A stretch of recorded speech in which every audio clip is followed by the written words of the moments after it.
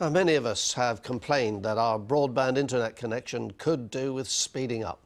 For some, a slow connection means the difference between their business flying or flopping.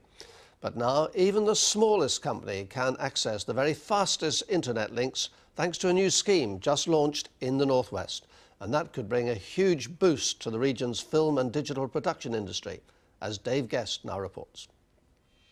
The team at Realtime UK produce computer-generated imagery for some of the biggest film, TV and computer gaming companies in the world.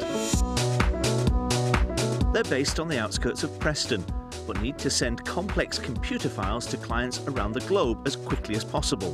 The quicker we can get the movie to them, the feedback, implement that feedback, the better it is for both ourselves and our clients. To be able to send huge computer files like this up and down the country on a regular basis means they have to be able to rely on exceptionally fast broadband speeds. Hollywood blockbusters increasingly rely on this type of technology.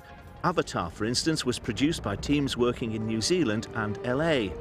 They used computer servers similar to this, this one isn't in LA, it's in Manchester, and it's enabling independent producers to access expensive, high-speed connections via the Northern Net. The high-speed technology provided by a Northern Net is about 20 times faster than your average office. So what that does is it opens up a world of possibilities for small companies to be able to access larger markets, worldwide markets.